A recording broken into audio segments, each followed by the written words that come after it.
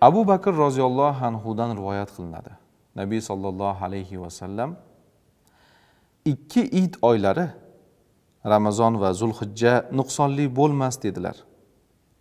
to'rtovlari rivoyat qilganlar